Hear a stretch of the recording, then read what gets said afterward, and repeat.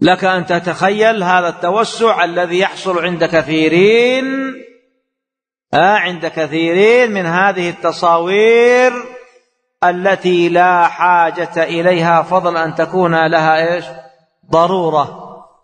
إذا ما أكل تصور إذا ما قام تصور إذا ما شرب تصور إذا ما خرج تصور حتى إنني رأيت في إحدى البلدان في سفرة من السفرات والتقيت ببعض إخواننا السلفيين وأبنائنا السلفيين وهو متحفظ جدا من أمر قد وقع له مع أحد من ينتسب إلى الدعوة من هذه البلاد المباركة. خرج إلى تلك البلاد على أنه يدعو إلى السنة المفترض. فإذا به يجلس مع هذا الأخ تعال نأخذ صورة جماعية كما يقولون السلفي. ها؟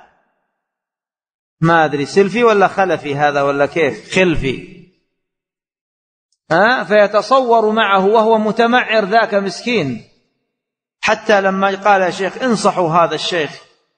انصحوا هذا يعني يقصده. طبعا عندهم كل من جاء من هذه البلاد إلى تلك البلاد هو مشيخ وقد لا يكون أهلا لهذا المقام وهو كذلك.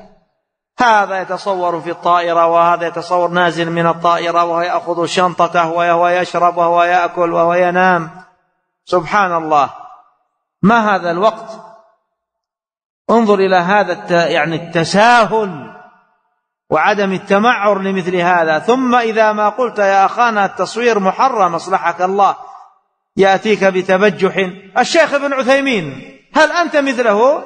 في تنزه الشيخ قال لك أفعل هذه الأفاعيل؟ قال لك وأباح لك مثل هذه الأفاعيل وهذه المسخرة؟ لما لم يفعل هو رحمه الله. تورعا أليس كذلك؟ وبحثا عن النجاة. وأباح في حدود ضيقة. لو التزمت شروطه ما تصورت. لا تتذرع. هذه الأفعال لا يفعلها إلا رجل فيه رقة.